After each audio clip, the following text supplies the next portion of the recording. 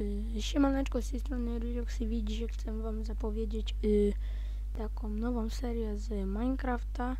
Y, Minecraft będzie się pojawiał co dwa dni, coś takiego. No, no i to taka krótka zapowiedź, także dzięki za oglądanie. Do następnego.